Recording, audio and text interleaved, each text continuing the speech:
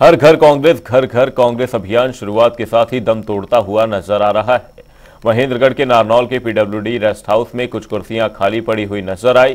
कांग्रेस प्रदेश अध्यक्ष उदय भान ने अभियान की शुरुआत के साथ ही पत्रकारों से बातचीत की। पत्रकारों की ओर से पूछे गए गुटबाजी के सवाल पर उदय भान पल्ला झाड़ते हुए नज़र आए। उन्होंने दावा किया कि कोई गुटबाजी नहीं है। सैलजा संगठन के केंद्र की टीम में है और हम उनका सम्मान करते हैं। गुटबाजी की जो बात कर रहे हो ऐसी कोई भी लोकतांत्रिक पार्टी नहीं है जिसमें थोड़ा मतभेद वैचारिक मतभेद ना हो। अब आप ये तो कह सकते हैं शैलजा कहते हैं कि मैं मुख्यमंत्री का दावेदार हूँ रणदीप कहते हैं कि मैं मुख्यमंत्री का दावेदार हूँ रणदीप कहते हैं मैं मुख्यमंत्री का दावेदार हूँ। इसका मतलब तो यह है कि दावेदारों की संख्या बहुत है कांग्रेस तो कांग्रेस ये इस बात का भी संकेत है कि हरियाणा में कांग्रेस की सरकार बनने जा रही है।